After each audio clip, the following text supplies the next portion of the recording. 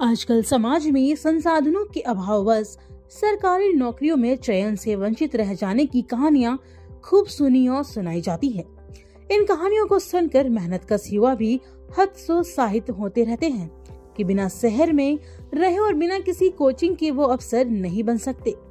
लेकिन इसी माहौल में सामने आती हैं कुछ ऐसी कहानियाँ, जिसमें कुछ लोग बिना संसाधनों के ही अपने हौसले की उड़ान से मंजिल तक का सफ़र तय कर देते हैं।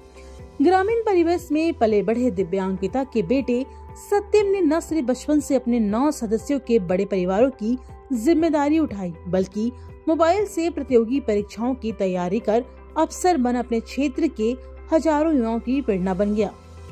सत्यम के पिता हमेशा चिंतित रहते थे कि उनका बेटा परिवार की जिम्मेदारियों और संसाधनों के अभाव में उलझ के न रह जाए। इसलिए वो बेटे का हौसला बढ़ाते रहते थे। गाँव की गलियों से अफसर बनकर निकले बेटे ने अपने पिता को सबसे बड़ी प्रेरणा माना है। ऐसी रही सत्य प्रकाश की प्रारंभिक शिक्षा। सतना ज़िले के तिहाई बमहोरी गाँव के निवासी सत्य प्रकाश के पिता ज्वाला प्रसाद शुक्ला दिव्यांग हैं। इसी कारण सत्य प्रकाश की प्रारंभिक शिक्षा गाँव के ही सरकारी स्कूल में हुई है। दसवीं की पढ़ाई पूरी करने और पारिवारिक कर्तव्यों को बोध होने के कारण सत्यम ने सिविल इंजीनियरिंग में इंदौर से डिप्लोमा किया, जिसके बाद मास्टर इन्वायरमेंट में पोस्ट ग्रेजुएशन किया, जिसके बाद वो 2021 में आयोजित एमपीपीएससी के टेक्निकल ग्रुप की प्रतियोगी परीक्षा का हिस्सा बने और उसमें एसडीओ पद के लिए चयनित हुए, जिसके बाद अब जल संसाधन विभाग में अपनी सेवाएँ देंगे सत्यम के पिता ज्वाला प्रसाद शुक्ला दिव्यांग हैं और माता श्यामा देवी गृहिणी हैं। वो दोनों चाहते थे कि उनका बेटा अधिकारी बने इसलिए आज जब संघर्षों के बाद बेटा अपने कदमों में खड़ा हुआ है तो दोनों काफ़ी खुश हैं।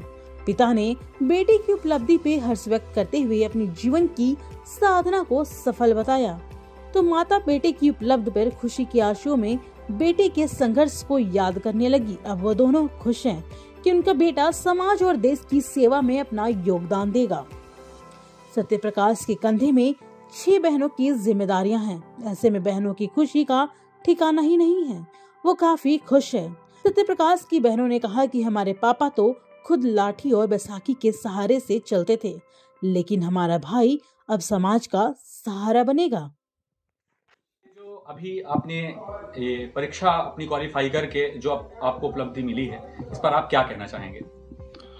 सभी को शुक्रिया कहूँगा मेरे गुरुओं को मेरे माता पिता को मेरे दोस्तों को और जो भी जिनको मैं ना याद कर पाऊँ सभी को धन्यवाद। क्योंकि ये सफलता इतनी आसान सफलता नहीं थी। यहाँ तक पहुँचना सबके लिए इतना आसान नहीं होता है। पिताजी के पास कोई सोर्स ऑफ़ इनकम था नहीं और परिवार हमारा थोड़ा सा बड़ा था। सबसे ज़्यादा श्रेय किसे देना चाहेंगे और आपकी सफलता के पीछे किन किन लोगों का हाथ रहा? मैं यदि आज इस मुकाम तक पहुँचा हूँ तो इसमें आ, कोई संशय की बात नहीं कि मेरे पिताजी का स्ट्रगल बहुत कठिनाइयों भर रहा हक है। उसके बाद यदि मैं कहूँ दूसरा तो मेरी बहनों का हमेशा से ही मेरे ऊपर आशीर्वाद रहा। बेटे की उपलब्धि को लेकर मैं यही कहना चाहूँगा कि बालक ने हमारी स्थित परिस्थिति को ध्यान में रखते हुए अपने फ़र्ज़ कर्तव्यों का निर्वहन बराबर सही ढंग से किया। ये बढ़े हैं। तो अपन सहारा बहनी भाई के सबका बेगोड़े हाथ का बाप रहा उनका सहारा बने बस सब कहा कहा चाहिए थे यह कहा चाहिए थे बस।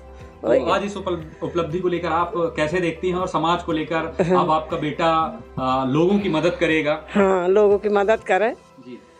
जो गरीब गुरु है उनकी सेवा करे बस। आज इस मुकाम तक पहुँचे हैं तो क्या कहना चाहेंगे आप?